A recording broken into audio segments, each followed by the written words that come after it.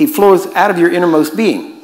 Now, he can just flow straight out. He can do that, right? But generally, especially in healing, he comes out usually two ways. Number one, since you are filled with him, there's not one part of your body that doesn't have him in it, right? And because why? Your spirit inhabits your body. If there's a part of your body that does not have your spirit in it, that part of the body is dead because the body without the spirit is dead. So if you had spirit everywhere in your body but except in your hand, your hand would wither up and die. Why? No life, no spirit. That should give you a clue where some people's problems are. If they have things wrong, it's because no life is going into that. Yeah. Right? Now, we might get a chance to talk about that. I don't know. But, so you got this life. So the number one way that healing was released from Jesus, there's really two ways, but probably the most prominent and the way he told us to do it was by the laying on of hands. So when you stretch forth your hand, his spirit fills your body because his spirit has filled your spirit. Okay? And because of that, his spirit and your spirit are one spirit with the Lord. Is that correct? So you are one spirit with him. So wherever your spirit goes, his spirit goes. So if you stretch out your hand, your spirit has gone out. Guess where his spirit goes? So technically, actually, who's leading who? See, if I choose to do this, he's got to go with it. I, can't stretch forth my hand and him go, nope, not going to do it. Mm, no. Not, because he's in there. Wherever I put my spirit, his spirit goes.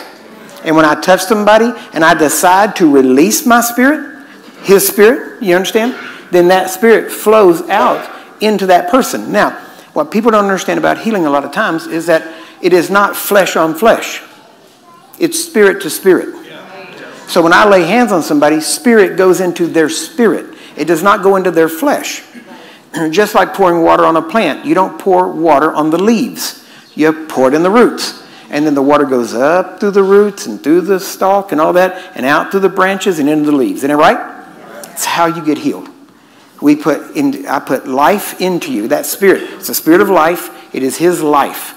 We release life into you. It comes by way of the spirit, goes into your spirit, and then comes out. It goes in first, and then is seen on the outside. It goes into your spirit, and then now, here's the thing if you're a Christian, especially, His Spirit's already in there. And I got, I'll go ahead and tell you the secret. You don't need my hands, He's in you. What I've got is in you. Yeah. Now, the, you say, then how come when we lay hands, how come people get healed? Usually it's because you don't know how to release your spirit. So when I release spirit into your spirit, it's like anything else. I could take this water right here, and I could take this and take this, and if I start pouring, what's going to happen? It's going to overflow, isn't it? And, and, if, and let's say this was, uh, uh, let's just use some wild example Coca Cola. Right? Well, that means it's, it's a darker color, right? That's all I'm talking about, right? So we got, we got the uh, darker color in this. This is clear water, right? I'm going to turn around. This is going to be the dark, this is going to be the clear. How's that? I like that better, all right, as far as the illustration. So if this is dark, let's say it's all muddy, dirty water. This is clean water. So I'm going to take this off and I start to pour it in there. What's going to happen? It's going to overflow. If I keep pouring, all of that is going to overflow, and, all, and pretty soon, that's going to be just like this one. Why? Because this one forced that garbage out. That's what happens when I lay hands on you. The Spirit of God in my spirit goes into your spirit, and you've already got the Spirit in you. So all I'm doing is pushing, going under and pushing what's in you already in and out, and your spirit in you, the Holy Spirit in you, pushes out your sickness and disease because your sickness and disease is not spirit, it is flesh. So it, the spirit pushes into the flesh and pushes out of the flesh all of the sickness and disease. Amen? Have you got that?